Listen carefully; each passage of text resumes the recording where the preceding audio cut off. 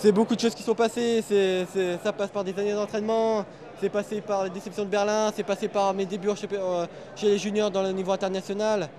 Et voilà, je me suis battu jusqu'au bout pour l'avoir et franchement je suis content de, de ma course. quoi. J'ai rien lâché jusqu'à la fin techniquement, j'étais bien, j'étais concentré sur ma course. Et voilà quoi, après j'ai tout donné jusqu'à la fin, j'ai cassé comme un fou dans sa ligne d'arrivée pour être sûr que voilà que je gagnais, que de, pour être sûr de gagner. Franchement voilà, c'est nickel quoi. Troisième place, première médaille continentale chez les seniors, c'est voilà, plus, euh, on n'est pas loin, passé pas loin du doublé. Médaille d'or, une médaille de bronze, c'est voilà, c'est- quasi historique. Ça fait 20 ans qu'il n'y a pas eu une médaille euh, pour un Français sur 100 mètres, et là il y en a deux d'un seul coup. Voilà, ça augure de, de bons championnats d'Europe, j'espère euh, pour les, pour les collègues qui vont bientôt courir des finales.